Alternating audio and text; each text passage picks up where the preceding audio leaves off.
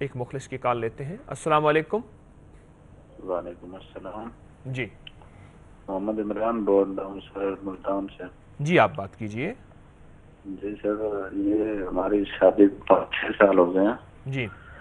اور جو ہے نا اولاد جو ہے نا رینا نہیں ہو رہی۔ جی جی۔ آپ کے کہیں ٹیسٹ درست ہیں؟ اب نارمل تو نہیں ہے نہیں وہ زیرو ہیں بالکل۔ زیرو ہیں؟ جی جی۔ ایزوسپرمیا ہے۔ جی جی۔ ہاں ہاں ہاں۔ تو میں آپ کو ایک دوا بتاؤں گا ایک جی۔ وظیفہ دوں گا۔ لیکن اگر کچھ عرصہ کریں تو امید ہے ہمارے جتنے بھی مخلصین ہمارے ساتھ ہیں کاغذ قلم ساتھ لے کے بیٹھے ہوں گے اور آپ جی، جی۔ انشاءاللہ تعالیٰ دونوں میاں بیوی یہ دوا استعمال کریں۔ اور لیکن خاص طور پہ آپ اور آپ وظیفہ ضرور کریں۔ اکثر مرد حضرات تسبیح وظیفہ بھی نہیں کرتے اور دوا بھی مختصر لے لیتے ہیں۔ مردوں میں جی، جی۔ طلب اولاد کی کم ہوتی ہے عورتوں میں تڑپ زیادہ ہوتی ہے، اس لیے مرد کا تعاون زیادہ چاہیے۔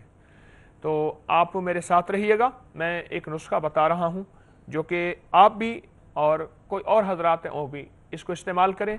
ایزوسپرمیا بھی ہے نا، جس کو زیرو زیرو کہتے ہیں، سپرم موٹالٹی، تو وہ بھی ٹھیک ہو جائے گی۔ بلنگو کے تخم ہوتے ہیں، ریحان کے تخم ہوتے ہیں بار تنگ یہ تخم ہوتے ہیں، بار تخم بار تنگ یہ بیج ہیں۔ بلنگو، ریحان بار تنگ یہ بیج ہیں۔ ان کو کوئی نہیں کوٹنا۔ اس سب گول ثابت، یہ بیج ہیں، ان کو نہیں کوٹنا۔ یہ چار بیج لے لیجیے۔ اور یہ چار بیج لے کے صاف کر لیں مکس کر لیں۔ ایک چمچ ہر کھانے کے بعد لیجیے، پانی کے ساتھ یا دودھ کے ساتھ۔ اور اس کو چند دن، چند ہفتہ، چند مہینے لازم استعمال کریں، جلدی نہ کریں۔ حیرت انگیز اس کا ریزلٹ ہے، حیرت انگیز اس کا ریزلٹ اور دوسرا، ایک وظیفہ عرض کروں گا، یا وارث ہو یا نصیر ہو، یا وارث ہو یا نصیر ہو.